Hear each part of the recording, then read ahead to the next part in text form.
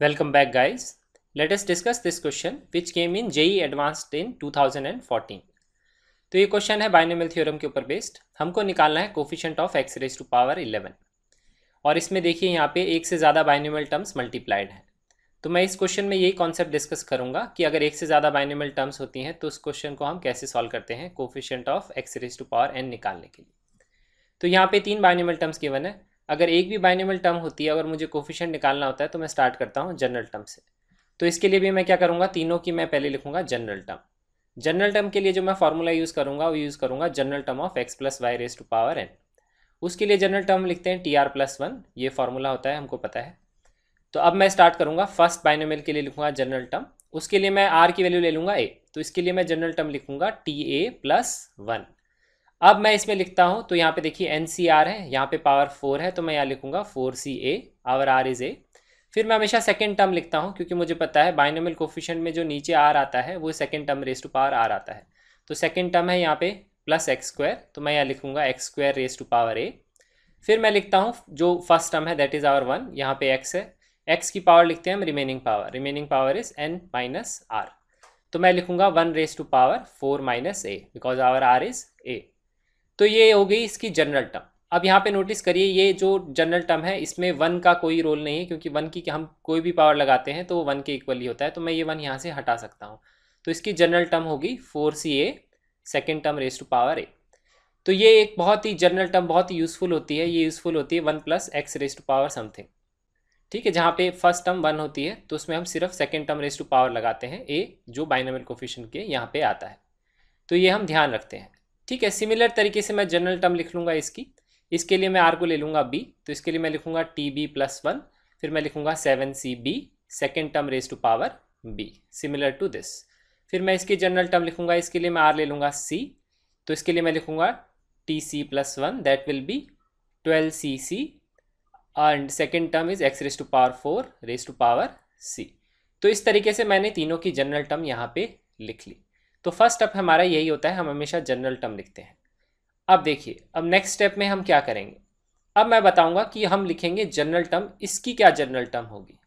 उसकी general term अब हम यहाँ पे लिखेंगे। तो उसकी जनरल टर्म लिखने के लिए बेसिकली तरीका क्या है? कि इन तीनों जनरल टर्म्स को मैं मल्टीप्लाई कर दूँगा। क्योंकि मुझे पता है, जो भी एक्स की टर्म आएगी यहाँ से, वो तीनों की टर्म्स मल्टीप्लाई होकर ही आएगी। तो इसकी जनरल टर्म जब लिखेंगे तो उसमें हमारे कोफिशेंट्स आएँगे four C a seven C b twelve C c तो उसको मैं मल्टीप्लाई कर लूँगा this will be the coefficient और जो एक्स की टर्म्स आएँगी, वो एक्स की टर्म्स मल्टीप्लाई होंगी तो उसमें देखिए एक्स की पावर्स हम ऐड कर सकते हैं। तो ये two a three b four c तो यहाँ पे मैं लिख सकता हूँ x raise to power two a plus three b plus four c ये जो है, ये जनरल टर्म रिप्रेजेंट करती है in multiplication of these three binomial terms तो अब मुझे यही क्वेश्चन है मेरा, जिस तरह से अब मुझे इसमें निकालना है x raise to power eleven इस जनरल टर्म में। तो इस तरह के क्वेश्चन हमने सिंगल बाइनोमियल में तो काफ़ी किए हुए हैं, जिसमें हमको एक ही वेरिएबल होता है आर तो वो आर हम निकालते हैं। वो हम कैसे निकालते हैं? वो हम इक्वेट करते हैं, जो भी एक्स की पावर का जो जो भी पावर होती है, उसको इक्वेट करते हैं इलेवन के। यहाँ पे लेकिन हमारे पास तीन वेरिएबल हैं ए बी और सी तो अब हम इस क्वेश्चन को कैसे अप्रोच करेंगे? तो वही यहाँ पे हमको सीखना है। तो देखिए, पहली कंडीशन जो हम लगाते हैं ए बी सी पे, वो लगाते हैं बाइनोमियल कोफिशेंट्स के अकॉर्डिंग ए की मिनिमम वैल्यू ज़ीरो हो सकती है और मैक्सिमम वैल्यू फोर हो सकती है, फोर से ज़्यादा नहीं हो सकती। और ए की वैल्यू हमेशा क्या होगी? इंटीजर तो ए की वैल्यू ज़ीरो हो सकती है वन हो सकती है टू हो सकती है थ्री हो सकती है और फोर हो सकती है।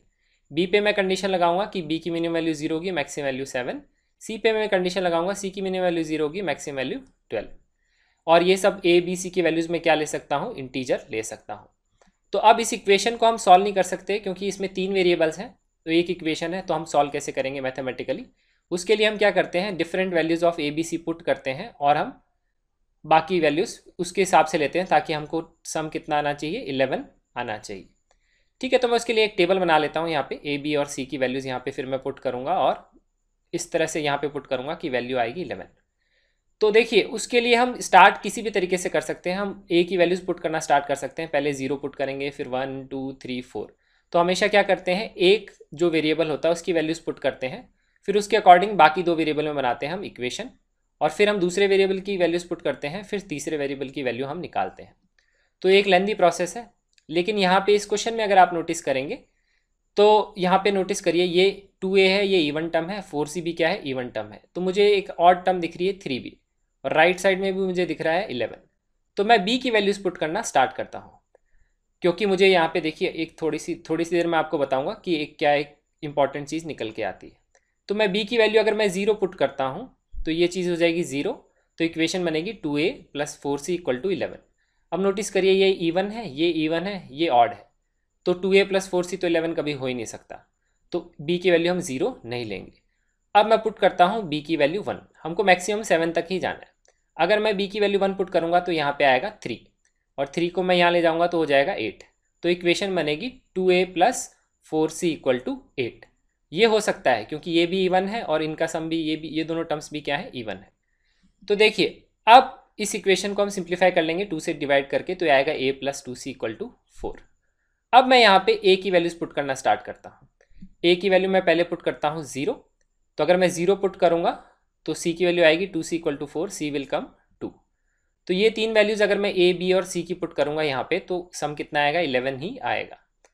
अब ए की वैल्यू अगर मैं ज़ीरो रखता हूँ तो ये वैल्यूज़ आती हैं। अब ए की वैल्यू मैं रखता हूँ वन अगर मैं वन रखूँगा यहाँ पे तो ये आएगा two c equal to three लेकिन टू सी तो थ्री नहीं हो सकता, क्योंकि सी की वैल्यू आएगी थ्री बाई टू और मैंने आपको बताया था ए बी सी क्या होंगे? इंटीजर्स होंगे। तो मैं ए की वैल्यू वन नहीं पुट कर सकता। अब मैं ए की वैल्यू वन वन वन नहीं पुट करूँगा ए की वैल्यू पुट करूँगा टू तो ए की वैल्यू जब मैं यहाँ पे टू पुट करूँगा तो आएगा two c equal to two तो वो वैल्यू मैं ले सकता हूँ। तो बी की वैल्यू अभी भी वन ही है। क्योंकि हम यही इक्वेशन सॉल्व कर रहे हैं।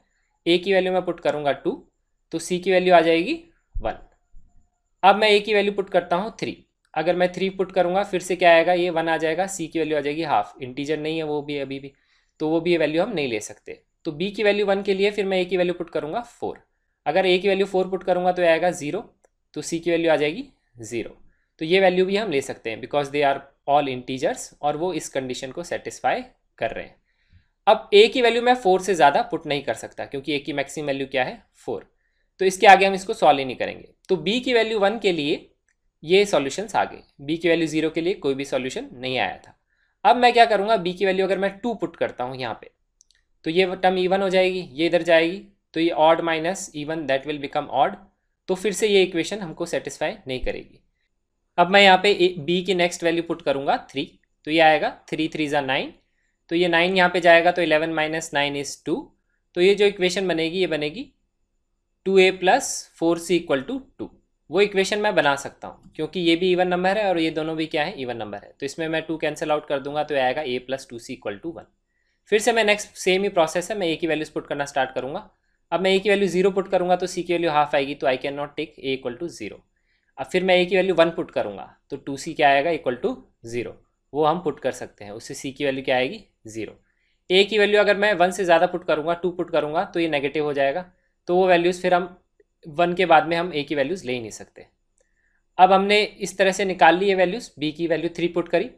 अब मैं बी की वैल्यू पुट करता हूँ फोर तो ये आएगा ट्वेल्व तो ट्वेल्व यहाँ लेके जाएँगे तो हो जाएगा नेगेटिव और बी की वैल्यू अगर मैं फोर के अलावा सेवन तक कोई भी वैल्यू पुट करूँगा तो जो इक्वेशन बनेगी, वो बनेगी two a plus four c is negative लेकिन हमको पता है ए और सी अगर पॉजिटिव है तो two a plus four c तो नेगेटिव हो ही नहीं सकता। तो इसके मतलब इसका मतलब ये है कि बेसिकली ए बी सी की जो वैल्यूज़ हो सकती हैं they there are total four set of values जो हम ले सकते हैं, जिसके लिए ये इक्वेशन सेटिस्फाई करेगी। तो ये हमने यहाँ तक क्वेश्चन सॉल्व कर लिया। अब हमको निकालना है कोफिशियंट जो हमको क्वेश्चन में पूछा हुआ है कोफिशियंट निकालना है। तो ये तो हमने ए बी सी की वैल्यूज़ निकाली। जो कोफिशियंट होगा वो ये वाला पार्ट है। इस पार्ट में अब मैं क्या करूँगा सिंपली ए बी और सी की वैल्यूज़ पुट कर दूँगा तो मुझे मिल जाएँगे coefficient of x raise to power eleven तो coefficient of x raise to power eleven आएगा ज़ीरो पुट करूँगा तो आएगा four C zero seven C one twelve C two ये वैल्यूज़ मैंने पुट करी। फिर ये सेट ऑफ़ वैल्यूज़ पुट करूँगा तो आएगा four C two seven C one and twelve C one फिर ये सेट ऑफ़ वैल्यूज़ पुट करूँगा तो आएगा four C four seven C one and twelve C zero फिर last set of values put करूँगा तो आएगा four C one seven C three twelve C zero तो इन सबको मैं सम करूँगा क्योंकि ये ये जितने भी टर्म्स आएँगे, ये सब x raise to power eleven की टर्म्स आएँगी। तो x raise to power eleven तो कॉमन ही आ जाएगा। तो ये सब क्या है? कोफिशेंट्स है। और इन सबको अगर मैं ऐड कर लूँगा तो मेरा आंसर आ जाएगा। वही मुझे क्वेश्चन में निकालना है। तो यही था इस क्वेश्चन का कॉन्सेप्ट तो बेसिकली हमने क्या किया? पहले मैंने जनरल टर्म लिखी, सब बाइनोमिल्स की। फिर मैंने जनरल टर्म लिखी कंबाइंड बाइनोमिल की। वो मैंने ऐसे लिखी, फिर मैंने पावर को कंपेयर किया ए बी सी पे कंडीशन लगाई। उसके अकॉर्डिंग मैंने ए बी सी की वैल्यूज़ यहाँ पे पुट करी और एक टेबल बना ली मैंने इस तरह से। और उस तरह से फिर मैंने निकाल ली कोफिशेंट्स तो ये था स्टेप बाय स्टेप प्रोसेस अब इसके बाद में सिर्फ़ हमको ये बाइनोमियल कोफिशेंट्स कैलकुलेट करने हैं, फिर हमारा आंसर आ जाएगा। उसके लिए जो हम फार्मूला यूज़ करेंगे, वो यूज़ करेंगे एनसीआर का। ये फार्मूला यूज़ करेंगे। वो कैलकुलेशन मैं यहाँ पे नहीं करूँगा, वो आप कैलकुलेशन खुद से कर सकते हैं। मैं एक चीज़ आपको यहाँ बता देता हूँ कि एन सी ज़ीरो जो होता है, वो वन होता है। इसका मतलब फोर सी ज़ीरो क्या होगा? वन होगा। एन सी वन क्या होता है? एन होता है। तो इसका मतलब सेवन सी वन क्या होगा? सेवन ये वैल्यू आप निकाल सकते हैं इस फॉर्मूले से। ठीक है तो अब हम इसके बाद में ये वैल्यूज़ इवेलुएट कर लेंगे तो one seven twelve C two आ जाएगा sixty six four C two six होता है सेवन सी वन सेवन हो जाएगा ट्वेल्व सी वन क्या हो जाएगा twelve because n C one is n तो सिमिलर तरीके से यहाँ पे फोर सी फोर आ जाएगा वन सेवन सी वन आ जाएगा सेवन ट्वेल्व सी ज़ीरो आ जाएगा वन और फोर सी वन ये वाली वैल्यूज़ भी मैं यहाँ पे पुट कर लूँगा। फिर जब मैं इन सबको ऐड कर लूँगा तो मुझे मिल जाएगा coefficient of x raise to power eleven इन सबको अगर आप ऐड करेंगे तो वो वैल्यू आएगी वन वन वन थ्री ठीक है तो ये वैल्यू आएगी। तो इस क्वेश्चन का हमारा आंसर हो गया सी तो इस क्वेश्चन में एक बहुत ही इंपॉर्टेंट कॉन्सेप्ट सीखा। जब एक से ज़्यादा बाइनोमल्स मल्टीप्लाइड हैं तो हम उसमें coefficient of x raise to power something कैसे निकालते हैं। So this concludes the solution of this question and thanks for watching this video